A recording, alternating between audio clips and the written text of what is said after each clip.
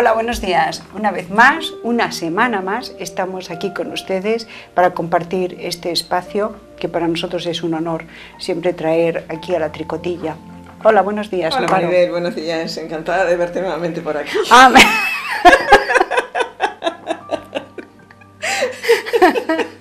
Sí, es que hacía días que no veníamos. Sí, ya extrañábamos, ya extrañábamos, porque la tricotilla es nuestra segunda casa. Sí, sí. El centro es nuestra primera y la tricotilla nuestra segunda. segunda casa. Sí. Muy bien. Entonces, Bueno, pues hoy eh, venimos y coincide eh, la abdicación de nuestro rey, del rey de España, que ha sido rey durante 38 años, ¿no? Eh, y ayer se dio la noticia de que había abdicado. Bueno, puede ser bueno para unos, bueno para malo para otros, da igual, eso da lo mismo. Puede haber, puede volver o seguir eh, la monarquía con su hijo o no. Mm, Eso tampoco es importante ahora. Lo importante realmente, lo importante es que en este momento de cambio, eso también cambia. Eso también cambia. Hace un mes muere Suárez, eh, que entró, que fue el que hizo el gran cambio después de, de Franco, hizo el gran cambio. Y ahora eh, se marcha el rey. El cambio que vamos a tener después del rey no sabemos, pero es que da igual, porque lo importante es el cambio, es eso, es el cambio. Cualquier cambio, sea lo que sea, siempre es bueno independientemente de que ahora nos empiecen a meter miedo con, la República, con ahora, mm, no hagamos caso, eso son solo distracciones. Lo importante es que todos nos deberíamos de poner y apoyar este nuevo cambio, sea el que sea, porque será para, para bien, para bien de los españoles y, y bien de, de España y de los españoles, lógicamente. no sé si tienes que aportar algo. Sí, eh, lo a mí lo que me encantaría decir es hablar, mm, enfocarlo desde el punto de vista astrológico. Ya lo sabéis que es mi gran pasión, por no decir otra cosa. Y entonces eh, resulta que estamos en Géminis, está rigiendo el signo de Géminis en estos momentos. Y el signo de Géminis, pobrecito, es uno de los más maltratados desde el punto de vista astrológico. ¿Me dejas que desarrolle un poquito que hable de Por favor, por favor, todo. Sí, es todo que, me, es que me place mucho, porque aparte de que soy Géminis, pero no es por eso, es porque es un signo totalmente desconocido e incomprendido. Géminis representa el, el- digamos, si se me permite, el todo, porque en Géminis está representado el hombre y la mujer, la energía femenina y masculina, eh, el yin y el yang. Y es el niño, es el infante, es el infante que, que tiene, representa en la época de, la vida del ser humano, es la edad del niño que está creciendo, más o menos de los 3, 4, 5 años a los 7, 8, que mira la vida con asombro, con total inocencia, mirando la vida lleno de esperanza y lleno de, promesas, que cree en, ese, en eso que, ese mundo que está descubriendo. Entonces no es casual que en este instante abdique el rey, que es posible que algunas voces se han levantado diciendo que lo ha hecho tarde, pero tampoco nos importa eso porque ha ocurrido cuando ha ocurrido. Pero lo interesante es que ocurre después que el maestro Yetan estuvo aquí en, en el centro y ya estuvo por dos veces. Estuvo el año pasado en Castelldefels en octubre, pero casualmente estuvo antes en Bélgica y en Holanda, activando las ciudades de luz de Bruselas y de eh, Ámsterdam, creo que fue, ¿no? ¿Y qué pasó a raíz del viaje de Yetan? Pues que abdicaron ambos reyes en ambos países. Luego, en octubre, estuvo aquí y activó la, la ciudad de luz de Castelldefels. Y la de el- Barcelona también, Y la de Barcelona incluida. Y el mes pasado, a principios de, de mayo, que estuvo aquí también, activó el altísimo corazón de España en Zaragoza, el chakra de Corona en San, en- San en Sebastián. San Sebastián y el chakra sacro en Valencia. Qué casual que ahora ocurra esto, ¿no? Cosa que él ya dijo, porque el año pasado cuando estuvo dijo, Acaba de, acabo de hacer este trabajo en estas ciudades, han abdicado los reyes y ahora próximamente tocará el rey de España. ¿Por qué? Porque tiene que dar el cambio, tiene que dar, España tiene que dar el salto. Y como decías tú, no importa qué pasará, si continúa la monarquía o la república. Lo que importa es que en este instante es un instante de cambio enorme, tremendo. No solamente porque es Géminis, que ya desarrollaremos más adelante si toca, yo quiero acaparar. no, no, desarrollarlo, pero es desarrollarlo. Sí, bueno, eh, Géminis es, el, es el, el, infante que mira la vida con asombro, con los ojos abiertos, es el gran investigador, el observador, etc. Hoy por hoy es que está, está representando en cierta medida al pueblo español, está representando a un pueblo español que no sé hasta qué punto ha crecido. Sí, exacto. Os iba, ahora iba a introducir aquí. Vamos a ver al pueblo español como ese infante, porque realmente eh, en este momento nos hemos quedado totalmente eh, huérfanos. Estancados, claro, pero además estancados con todo lo que ha pasado con la crisis. No estamos evolucionando, no estamos eh, dando pasos, no estamos haciendo realmente nada. Da la sensación, nos hacen ver que sí que estamos haciendo, pero realmente no está ocurriendo nada.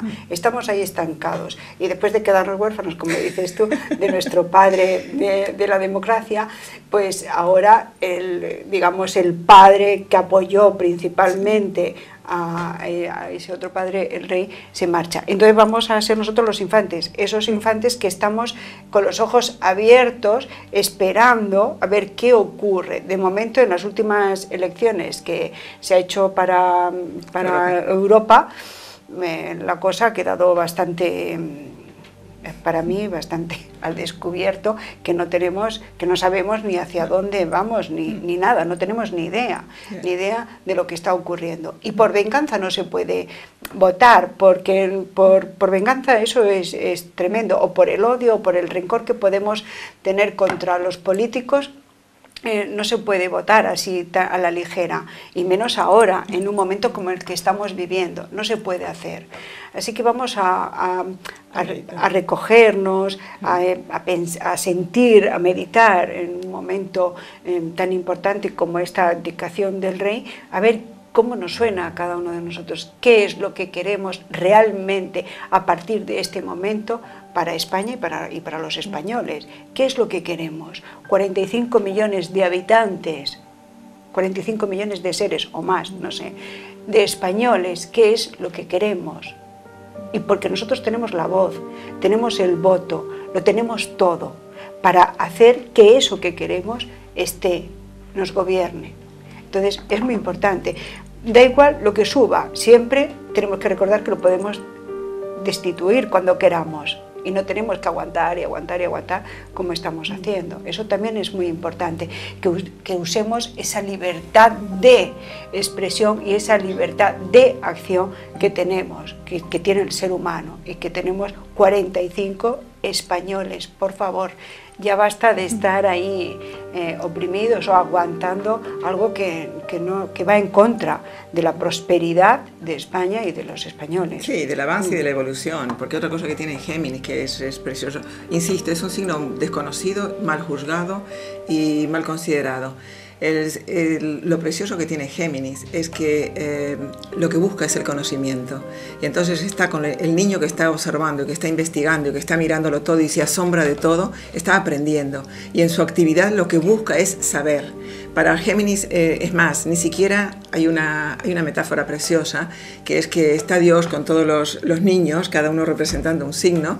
Entonces cuando llega el turno de Géminis le pregunta, ¿y tú qué quieres? ¿Qué quieres que te dé? ¿Deseas el conocimiento? Y dice, no, porque el conocimiento te pertenece a ti. Yo lo que quiero es la búsqueda del conocimiento.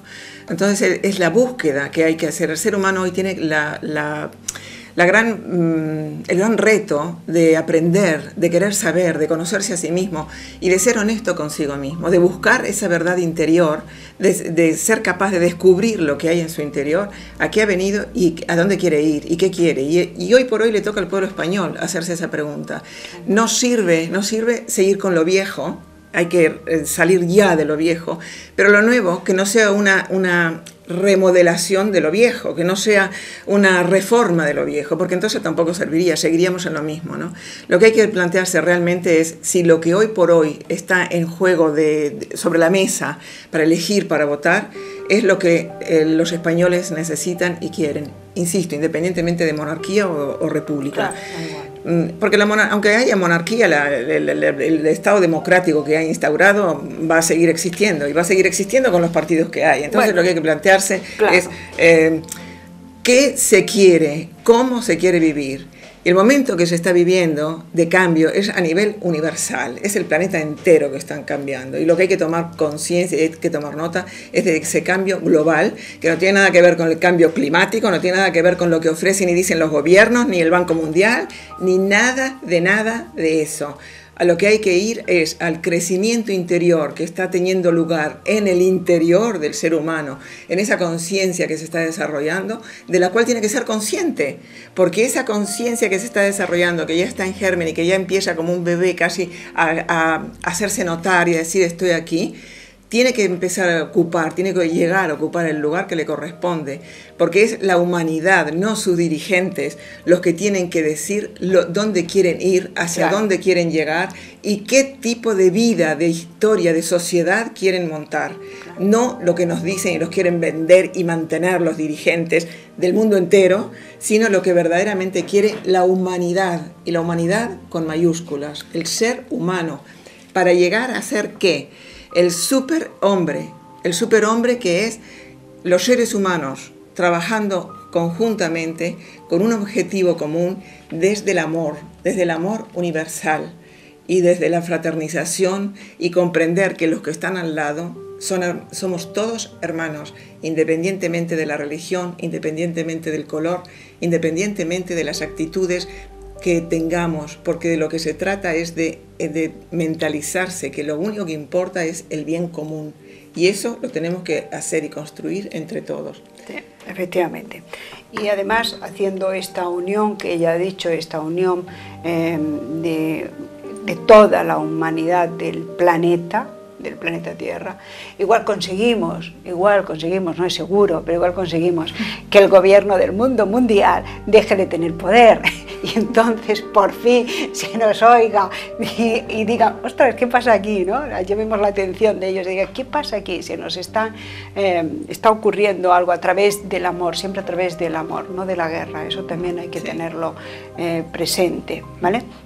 Entonces, eh, bueno, yo creo que es un momento de reflexión eh, total, una vez más, eh, esta abdicación del rey, muy importante, muy significativa. muy significativa, muy importante.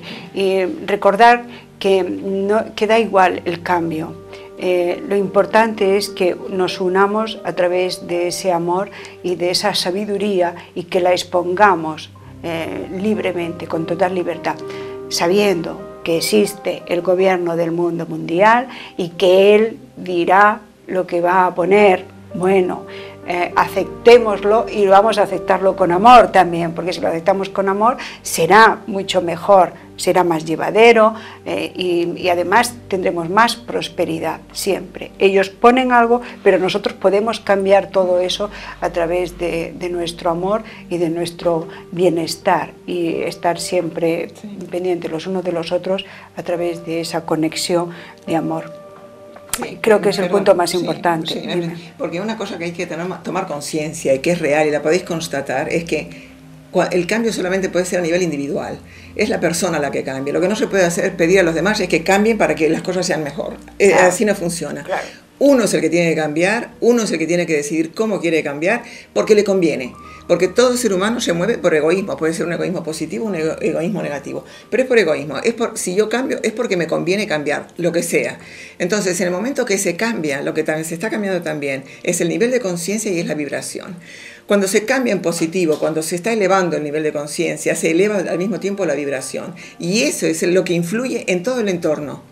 Al punto que si algunos de vosotros eh, habéis dado el paso y estáis en ese, en ese punto de estar cambiando, lo que observaréis es que los primeros comentarios que pueden hacer es, ¿qué te pasa? ¿Qué has cambiado? ¿No eres el mismo o no eres la misma? Bien, es evidente, cuando uno cambia interiormente se refleja en el exterior. Y automáticamente, como, en una pieza musical, las notas, las vibraciones son como notas, notas vibratorias, que emiten un sonido y una frecuencia. Cuando uno cambia, cambia su nota vibracional, automáticamente todas las demás tienen que tienden y tienen que sincronizarse con ella. Al sincronizarse con ella, ¿qué ocurre?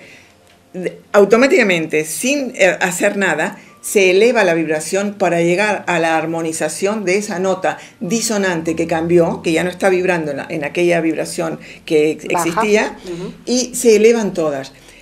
Pasa exactamente lo mismo que con las células, con los átomos, con las moléculas. Todos aquellos eh, elementos, por ejemplo, que tienen moléculas de, inestables, que se, que se rompen cada tanto, pues la tendencia de toda molécula, de toda célula, es a estabilizarse. Pero eso qué hace? Que las cosas cambien, porque al cambiar la combinación celular de cómo se unen átomos y moléculas, etcétera, pues Maribel se está riendo de mí. cambia, cambia el resultado. Es que, es que es igual, es que es lo mismo. Eh, podés entrar en internet, yo no soy ninguna científica ni bióloga en eso, pero es que funciona igual. Igual el, sonido y la vibración, es todo, es todo lo mismo expresado de distintas maneras. Claro, vamos a hacerlo un poco más sencillo y, y vamos a decir que la vibración es, es un movimiento pendular siempre es un movimiento pendular, mm, casi imperceptible, casi imperceptible. Y este movimiento pendular es el movimiento del equilibrio. Todo el universo tiene este movimiento. Nosotros tenemos ese movimiento, nuestro cerebro tiene ese movimiento, las células, todo es el movimiento además de la creación, de la expansión y de la creación. Es un movimiento pendular prácticamente imperceptible, pero que existe, está ahí, siempre está ahí. Y esa es la vibración de una forma más sencilla. Sí, sí, sí, perfecto, perfecto. ¿Vale? que se entienda. ya está, es eso. Bueno, pues os quiero decir también que mm, no en vano, después de todo esto, nosotros hemos estado hablando de, de los hermafroditas, del principio, mm, del principio de volver al principio de la vida, etcétera, etcétera. Y esto es un principio, esto que se nos presenta ahora es un principio, que además es que se está rompiendo todo, pero a nivel mundial también, es un principio. O sea que vamos a aprovechar este principio para, eh, para empezar, para ponernos de nuevo todos y no hacer... No tener en cuenta ni siquiera nada de lo que ha ocurrido hasta hace un segundo. No existe, ni más ni menos. Tenemos la suerte, y ahora hablaba mm, fuera con una persona, de que hay tantos métodos, han salido tantos métodos eh, espirituales para trabajar, eh, para trabajarse interiormente, físicamente, han salido tantos métodos que yo creo que cada persona tiene un método y entonces puede ahora en cualquier sitio encontrar ese método que le va a hacer despertar en un momento, porque conectará con él. Hay, afortunadamente, hay muchísimos, muchísimos. Y todos están bien, todos están bien, porque el final de todo método es el mismo, es abrir conciencia y llegar a ese ser interior, a esa divinidad y por lo tanto encontrarnos con todos juntos en uno con Dios. Sí, claro. es eso. El, Dios que tenemos dentro, porque tenemos el Dios dentro, pues esos dioses uniéndose en, la divinidad. Y eso es la era de Acuario, que es en la era en la que estamos, que es la de la confraternización universal, es la desaparición de las diferencias para que empiecen a surgir las semejanzas, los parecidos, todo aquello que nos une y no de estar pendiente de todo lo que nos separa. Lo que nos separa es mínimo, mientras que lo que nos une es la, gran parte y es eso lo que tenemos que buscar, es empezar a aceptar que el amor es lo que prevalece, pero el amor, el amor incondicional, que el amor incondicional no tiene nada que ver con el amor de las novelitas, de las películas de Hollywood, no es ese amor, es el amor sin ego, y es tener, tomar conciencia del daño que hacen los egos. Los egos es lo que hace que la gente se pelee. Los egos es lo que aprovechan precisamente los gobiernos para tener guerras en todas partes. Porque si nos ponemos a mirar, estamos en otra guerra, no, es mundial, pero casi. Hay cantidad de países en guerra por cosas absurdas, cosas nimias.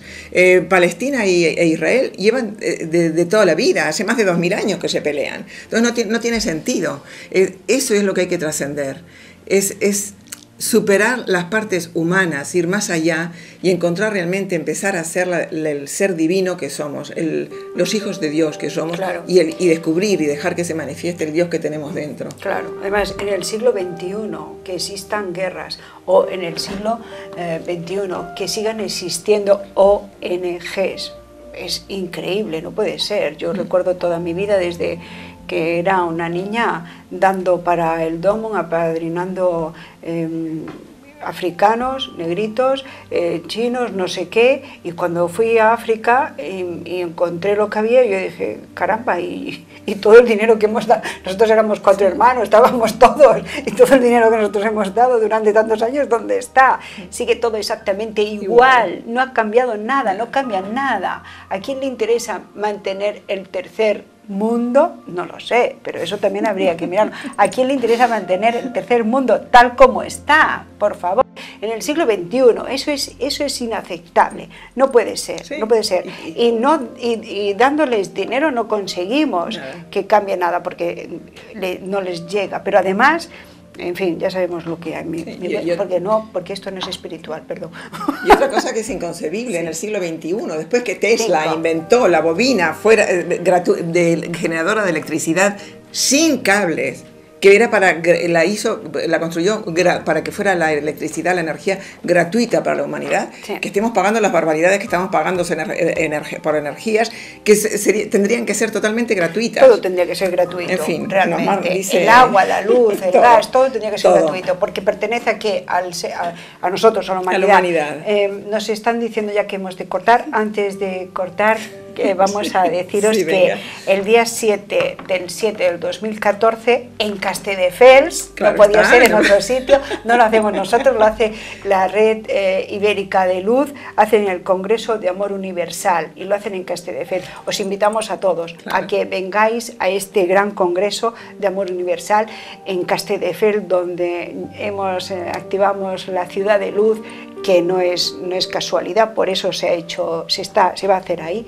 este congreso desde la Ciudad de Luz y os invitamos a que conozcáis nuestro pueblo, es maravilloso. está lleno de luz. Pues nada, os dejamos. compartir este momento de amor con vosotros. Exacto. Igualmente ha sido un placer y, nada, nos vemos la próxima vez. Hasta pronto. Ser felices. Gracias. Adiós.